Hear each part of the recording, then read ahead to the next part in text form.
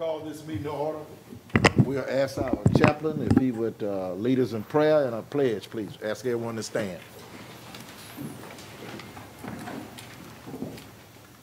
Our Heavenly Father, we thank you today for our opportunity to meet in this meeting. We thank you also for the many blessings that you have bestowed upon us in this community and our school system. Our Heavenly Father, we also pray for the many people that have been sick and that have lost their lives uh, in recent months. We pray that you put your arms around them and help them through this troubling period. We also pray for our teachers and our staff and our superintendent and everyone who works with kids in our uh, system. Please help them as we try to work through the problems that we have. We also pray for our first responders and the actions that they take to protect us both at home and abroad. We pray all of these things in thy name. Amen. I pledge allegiance to the flag of the United States of America and to the republic for which it stands, one nation, under God, indivisible, with liberty and justice for all.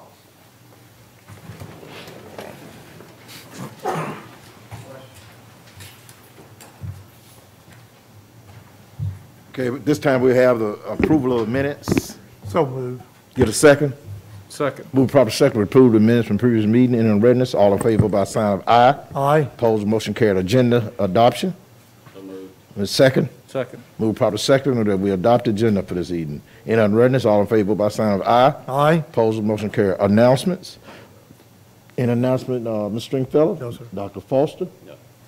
No, sir. All right, Mr. Superintendent? Let the record reflect Ms. McDade is out. She had a previous engagement uh, for the day. Okay. Um, Reports of recognition? All right, no reports of recognition. Citizen requests. Mr. Superintendent, who do we have? Yes, sir, we have several. Um, The first group, uh, I think there will be two representatives. Um, So first would be Dr. Bucknell and his representative as well. Uh, Did you, you let them know of the uh, minute stipulation? Yes, they understand the minutes. Okay.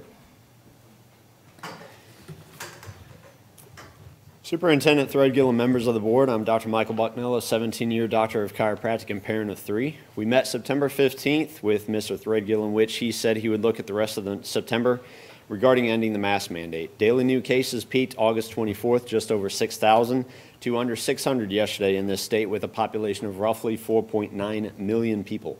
Considering Baldwin County, Gulf Shores, and Saraland have already dropped their mask mandates, I fully expected to come to this meeting and hear a vote to do the same today. Looking forward, I feel it's a waste of time to try to win a war of so-called research against institutions with endless cash and connections to legitimize anything they want. Instead, let's consider the record.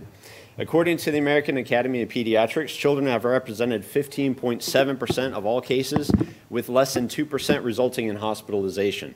Though every death obviously is a concern, less than 0.03 of all child COVID cases has resulted in death.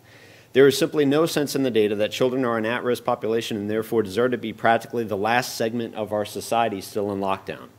If it's not the children we're protecting, then let adults choose what they want to do as they feel fit. We were all told that two weeks of lockdown would flatten the curve. We were told to wear masks and social distance, that would end it. We locked down beaches in the middle of summer, figure that one out. Uh, then we expected, we were told the vaccine would end the pandemic. Now we'll see They've changed the script because the vaccines don't actually stop infection or transmission, but only lessen symptoms. Nonetheless, we have to stay masked until everyone, including children, are forced to take it anyways. Now you need booster shots, apparently forever. Just last week, a CDC advisory panel refused to endorse these boosters just to be unusually overruled by the CDC director. States, including Alabama, have preemptively banned vaccine passports, yet all you have to do is look at the headlines to see that the numbers no longer matter only that everyone takes a vaccine that won't keep you from getting sick or transmitting what it was originally promised to make you immune from. Their goal is digital passports. If you don't comply, you can't fly, go to sporting events, concerts, amusement parks, or your children go to school. Now ask yourself, are you okay with parents being forced to comply, making their children take whatever They decide in order to maintain entry into basic functions of society, like receiving an education. Are you really okay with every single teacher and employee being forced to take another shot every six to nine months in order to keep their jobs like our military now is? Most everyone, including yourselves, are going to work out to dinner, packing football stadiums, and rarely practicing the measures our kids still are. It is our duty to these children to realize that this path is not okay and give them their educational and social lives back, not being trained in a perpetual state of fear of others. I leave you with this question What happens with endless spikes or variants in the future? Do we go back to masking or school closures despite ample evidence of the past behind us? We can't keep acting like vaccine compliance is going to end this when they've already admitted they can't. If your advisors are unanimous, despite what we've all experienced, maybe it's time for different opinions. Thank you. Thank you.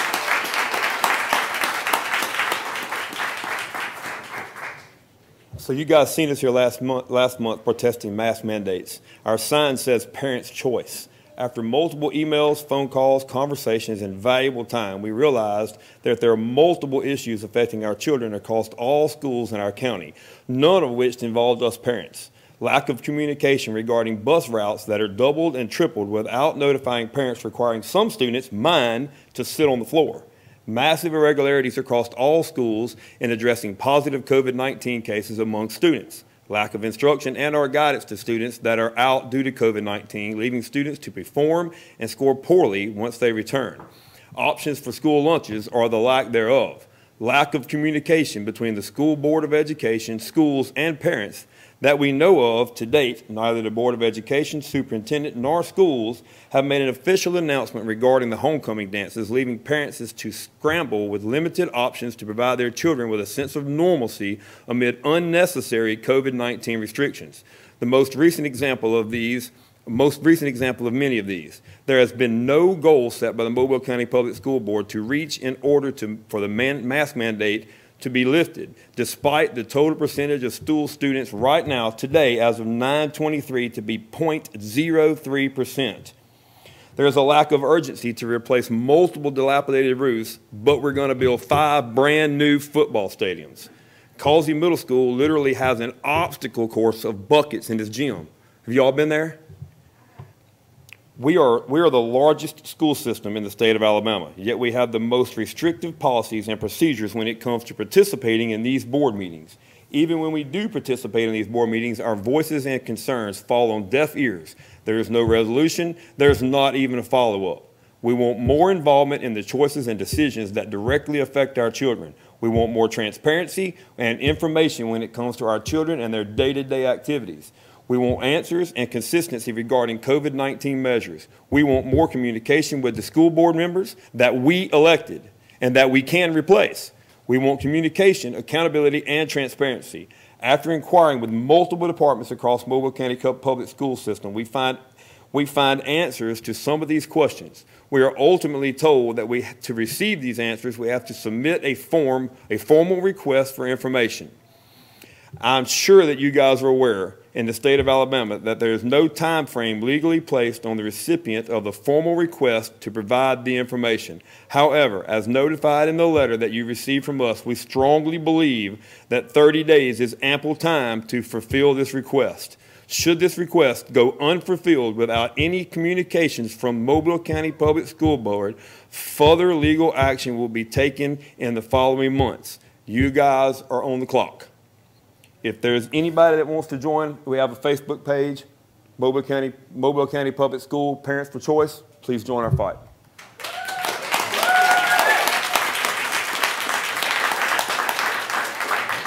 Mr. Superintendent, you have anyone else? Yes. We have one more, Dr. Campanosa.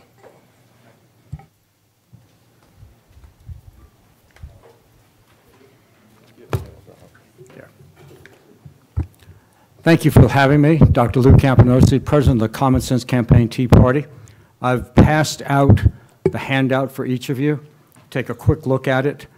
My remarks will be at the front. I've offered a letter from Congressman Michael Waltz, retired Green Beret, um, who sent a letter about this question of critical race theory to the Commandant of West Point.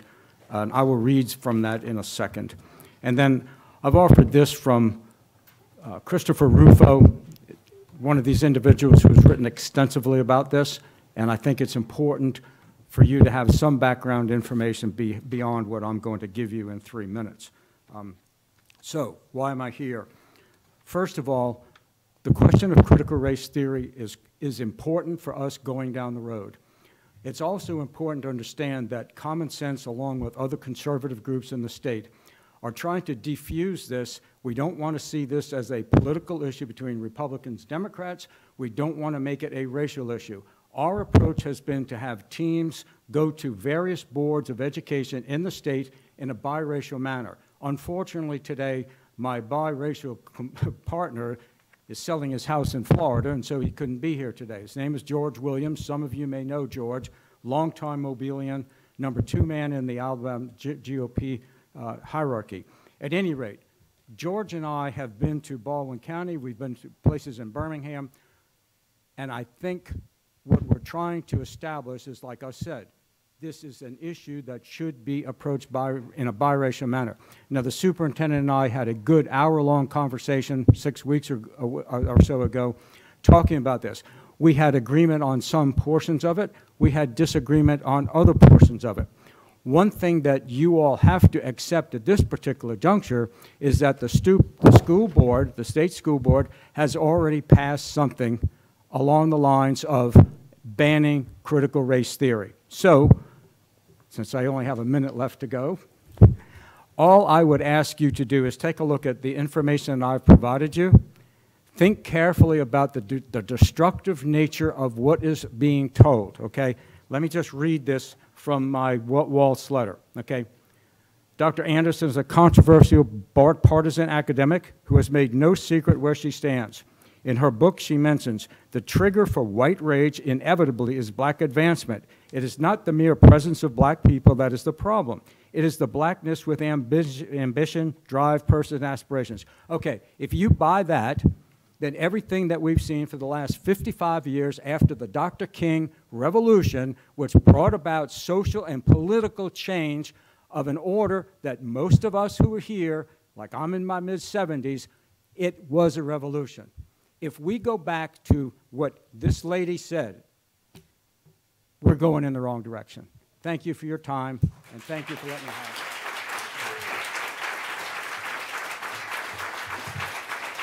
Mr. Superintendent, you have anybody else? Okay, we approve to the agenda.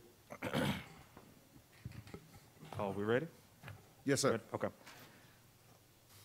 Uh, Action item, first let me go to action item 60. We will pull action item 60.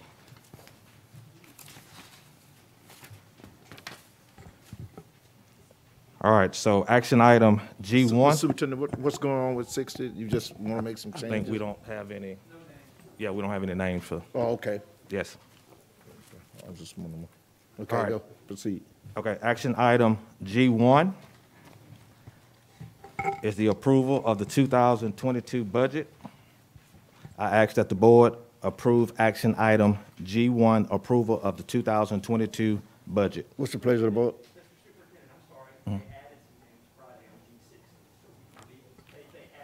Okay. Okay, we'll, we'll leave action item G60 in. All right, let the record reflect that item G sixty is included in today's agenda. All right, what's the pleasure of the board on action item one? Mr. Chairman, I move for approval of the 2022 budget as submitted. All right, get a second? Second. Move proper second to approve action item one, which is approval of twenty twenty-two budget in readiness. All in favor, by sign of aye. Aye. Aye. Opposers, motion carried. Okay, action item G2 is the general liability and auto li- liability. Uh, Our liability insurance uh, will expire September the 30th, Uh, so I ask that we approve the renewal of our general liability and auto li- liability. What's the pleasure of the board? Mr. Chairman, Dr. Foster? uh, move approval of number two, agenda item two. Get a second? Second. Moving properly second that we approve action item uh, two in unreadness. All in favor by sign of aye. Aye. Aye, opposers, motion carried. Okay, action item three, resolution uh, to have a line of credit of 36, $36 million just in case of a potential shortfall or delay with the state or local revenue or potential pro proration. I ask the board to approve the line of credit of $36 million. Mr. Chairman, Dr. Foster, move approval of agenda item number three. you get a, s- all right, move proper second, we approve action, agenda item number three. In our readiness, all in favor by sign of aye. Aye. Opposed, motion carried. Okay, action item G4, the approval of 2021, 2022 salary schedule um, that will take place October the 1st, 2021. I ask that you approve action item G4, approval of 2021-22 salary schedule. What's the pleasure of the board? Mr. Chairman, I, I move for approval of the uh, 2021-22 salary schedule. Get a second? Second. Move proper second, we approve action item four, the approval of 2021-22 salary schedule. In our readiness, all in favor by sign of aye. Aye. Opposed, motion carried. Action item G5, the approval of changes to the 2021-22 policy hand- handbook. Um, We had several policy changes uh, that you were aware of. I ask that we approve action item G5, approval of changes of the policy hand handbook. What's the pleasure of the board? Move for approval. Get a second? Second. Move proper second, we approve the um, changes to 21-22 policy handbook. In our readiness, all in favor by sign of aye. Aye. Opposed, motion carried. Action item G6, Edgenuity, to provide instructional services for fall and spring semester of 2022 for 400 kindergartners through fifth grade, and also 50 sixth graders uh, to enroll in Mobile County's virtual learning school. That's not to exceed $1.4 million, and it's coming out of ESSER funds. I ask that you approve action item G6 from Edgenuity. The pleasure the board? Mr. Chairman, since we have vetted these in a work session, and most of this is contracts, uh, spending that ESSER money as uh, the superintendent had addressed, I move for approval action items six through 20. All right. We get a second? Second. Move uh, proper second, that we approve action items six through twenty in our readiness. As Dr., uh, as Mr. Stringfellow said, all of these items have been vetted in our previous work session. Uh, questions and additional information have been provided to the board, so that's the reason we're taking them, okay? Any further on readiness? All in favor by sign of aye. Aye. Opposed? Motion carried. Okay, action item G twenty-one is with AltaPointe Health System, uh, with Pathway Elementary and Pathway Middle, uh, to provide two mental health therapists, uh, for the Pathway Elementary and Middle School. These are full-time therapists, uh, that's coming out of federal funds for seventy-five thousand, seven hundred and ninety-seven dollars and fifty cents. What's the pleasure of the board? Mr. Chairman, Dr. Foster? uh, move approval of items 21. Uh, These are all contracts for the most part with uh, healthcare systems and with Point Academy. Items 21 through uh, 28. All right, get a second? Second. Move prop second, we approve action items twenty-one through twenty-eight in our readiness. All in favor by sign of aye. Aye. Opposed? Motion carried. Okay, action item, excuse me, G twenty-nine is the agreement between the um, county commissions with Big Brother, Big Sister of South Alabama to provide mentoring services to ensure a well-rounded education and to improve the health and safety of students under Title IV. This is also coming out of Title IV budget for forty-five thousand dollars. I ask that you approve action item G twenty-nine with Big Brothers, Big Sisters. What's the pleasure of the board? Uh, Mr. Chairman, I move for approval action items 29 through 40, please. All right, get a second? Second. Moving proper second, we approve action, action, action item twenty-nine through forty. And In readiness, all in favor by sign of aye. Aye. Opposed? Motion carried. Action item G forty-one, the bridge, to provide supplemental tutoring, supplies, and staff professional development to assist and serve delinquent and neglect or at-risk students. Uh, that's coming out of N and D funds for twelve thousand dollars. I ask that you approve action item forty-one with the bridge. What's the pleasure of the board? Mr. Chairman, uh, move Foster. approval of uh, 41 uh, through 49. All right, we got a motion, to get a second? Second. That we approve action item forty-one through forty-nine? Yes. Okay. Enter on readiness, all in favor by sign of aye. Aye. Opposed, motion carried. All right, action item G50 is the timber sale of the G- Grand Bay Track. It's uh, approximately 79 acres. We had one bidder. Um, The, we went with the highest bidder, which was the only one, with CSP Services uh, for $171,171, which is a revenue. So I ask that you approve action item G50, timber sale of the Grand Bay Track. What's the pleasure of the board? Well, Mr. Chairman, I move for approval of action item 50 and 51. They both are involved with the timber sale as uh, the superintendent has men- mentioned, so I move for approval of those two items. All right, get a second? Second. Move proper second that we approve action item fifty and fifty-one, enter on readiness. All in favor by sign of aye. Aye. Aye. Opposed, motion carried. Action item G fifty-two is the lease agreement between us and WHO uh, Weaver and Son for McDonald Road.